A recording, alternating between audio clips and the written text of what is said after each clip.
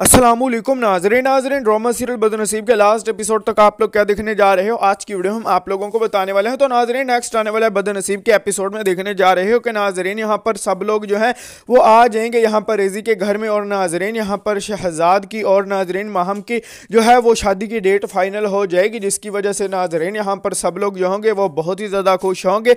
और नाजरीन, यहाँ पर माहम की जो अम्मी है, वो भी बहुत ही ज़्यादा खुश होगी। और नाजरीन, यहाँ पर बहुत ज़्यादा ज़ोरों शोरों से काम चल रहा होगा और इसी दौरान में नाजरीन, यहाँ पर सब कुछ पता चल जाएगा दवा को लेकिन नाजरीन, वो किसी को भी कुछ नहीं बताएगी। लेकिन नाजरीन, शादी के नज़दीक आते आते नाजरीन, यहाँ पर सब कुछ पता चल जाएगा और नाजरीन, यहाँ पर शहजाद कहेगा कि मैं तुमसे ही शादी करना चाह रहा हूँ, मैं बिल्कुल भी माहम से शादी नहीं करना चाहता, जिसकी वजह से नाजरीन, वो यहाँ पर साफ़ मना कर देगी कि नहीं, मैं तुमसे बिल्कुल भी नहीं शादी करूँगी, क्योंकि वो मेरी बचपन से दोस्त है और मैंने उसे इतना ज़्यादा कभी भी खुश नहीं देखा और वो तुमसे ही प्यार करती है। तो नाजरीन फिर यहाँ पर क्या होगा? रिएक्शन शहजाद का ज़रूर से तरह का कमेंट सेक्शन में कर दीजिएगा।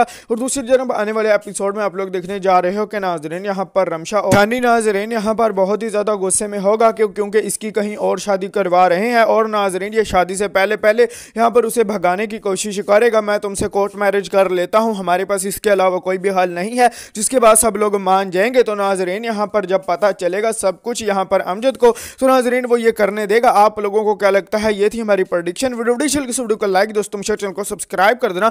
ओके भाई फ्रेंड्स आज की वीडियो में सिर्फ़ इतना ही। अल्लाह हाफिज़।